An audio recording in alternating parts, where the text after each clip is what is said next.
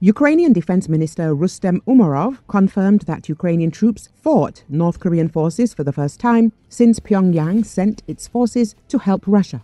The minister made the corresponding statement in an interview with South Korean media Politico reports. According to Umerov, there were small scale clashes between Kiev forces and North Korean soldiers. He did not provide any more details.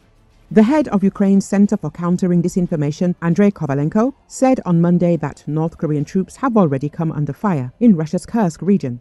Asked whether North Korea's participation meant an official entry into the war, Umerov replied, Yes, I think so. These were clashes. We expect that in the coming weeks there will be more involvement of DPRK forces at the front.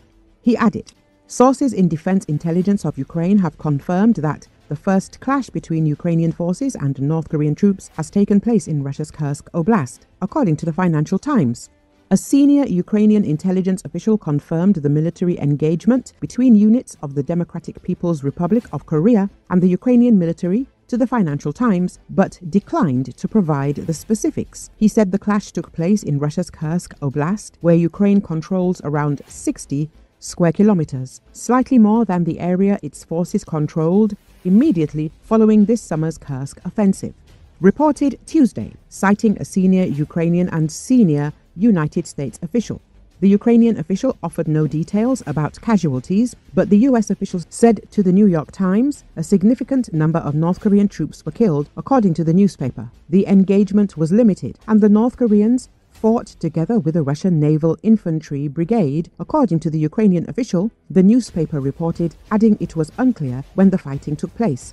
Over the weekend, Defense Intelligence of Ukraine said that Russia had armed the North Korean troops in Kursk with 60mm mortars, assault rifles, machine guns, sniper rifles, anti tank guided missiles, and shoulder launched anti tank rocket launchers.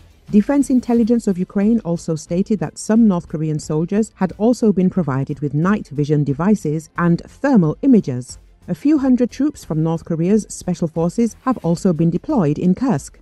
Ukrainian officials and military analysts have raised questions about the quality and combat effectiveness of the North Korean troops, describing most of them as inexperienced, low ranking soldiers.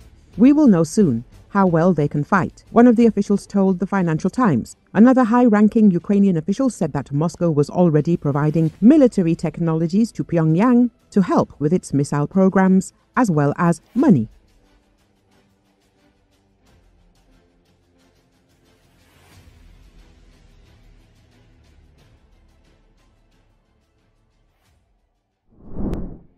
The Pentagon estimates that North Korea has deployed 10 to 12,000 troops in Russia's Kursk region and warns that the troops would become legitimate military targets if they engage in combat support operations against Ukraine.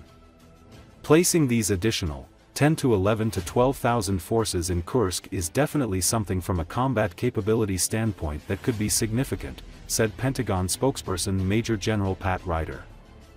But a lot of that will depend on how those forces are employed, how they're integrated into the Russian command and control, he said.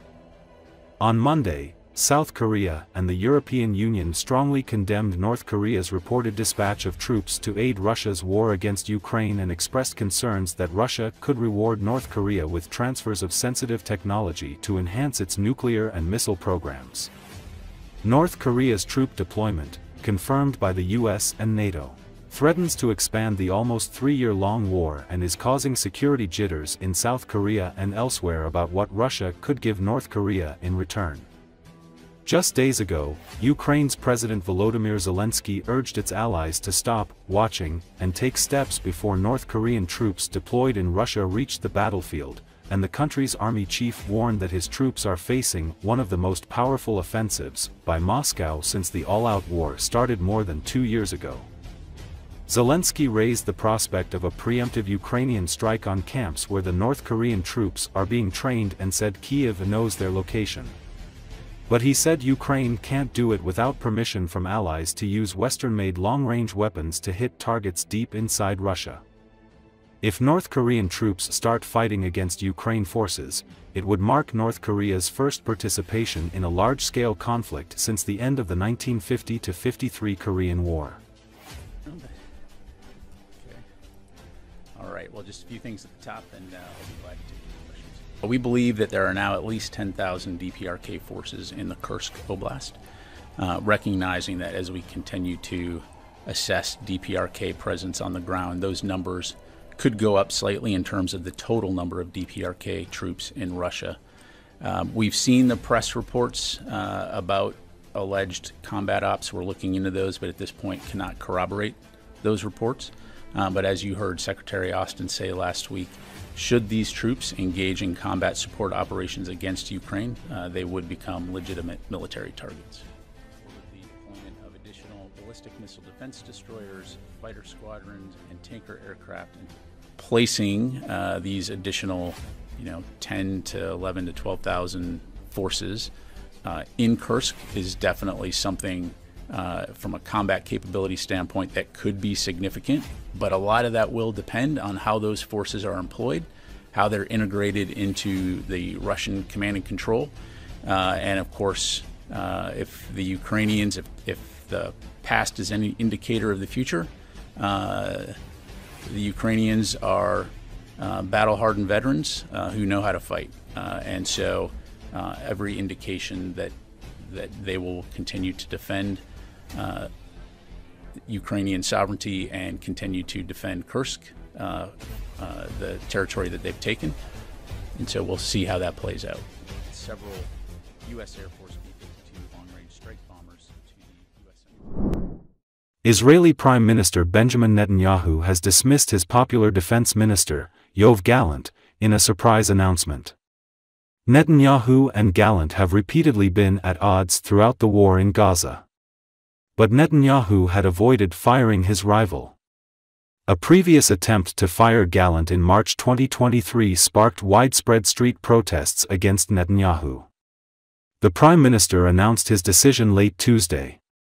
During wartime, more than ever, a complete trust between the Prime Minister and the Defense Minister is essential. Unfortunately, while we initially had this trust and accomplished much in the early months of the campaign, over recent months, that trust between me and the defense minister has eroded, Netanyahu said in a statement. Netanyahu explained that there were major differences between him and Gallant. Israel Katz, the current foreign minister of Israel, will become defense minister and Gideon Saar will replace Katz as foreign minister.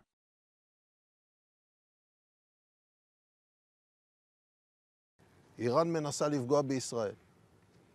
אז זה מתחיל מעזה ועובר ללבנון, וממשיך לתימן ולעיראק ומקומות אחרים, ואנחנו בכל המקומות האלה בולמים ומכים אותם.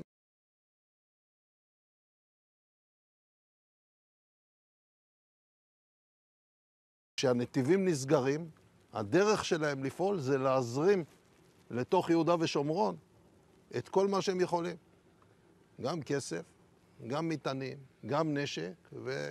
גם כאלה שיכולים להדריך או לאפשר או להפעיל.